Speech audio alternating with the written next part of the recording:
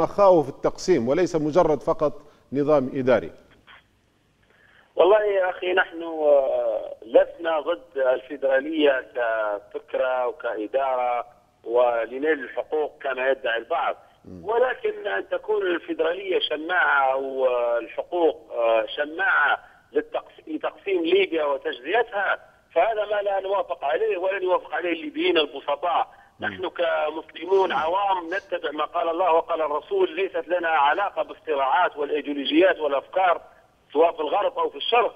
نعم. آه نريد ليبيا واحدة موحدة نريد أن تنال كل المناطق حقوقها كاملة نريد أن نبتعد عن المركزية. ولكن إذا تشدق البعض ويتحدث باسم مثلا برقة ومجموعة تتحدث باسم إقليم طرابلس من ولاهم ومن أعطاهم الصلاحيات بأن يتحدثوا باسمنا نحن كشعب بسيط لا نريد إلا ليبيا واحدة موحدة. نعم. فما نرجوه من الساسة في الغرب وفي الشرق أو من يتصدرون المشهد الآن أو المعنيين في الأجسام المختلفة في الشرق والغرب أن يتقوا الله في ليبيا وأن لا يلوحوا بهذه الأفكار المسمومة يهددوا بالتقسيم ويهددوا بالانفصال ويهددوا بالحركات.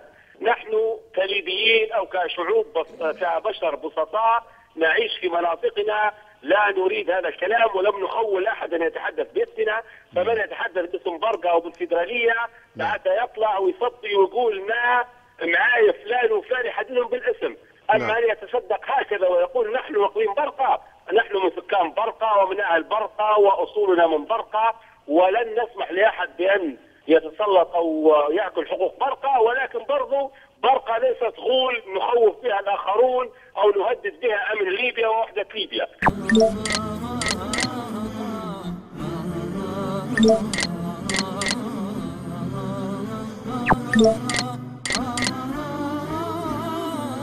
Yeah.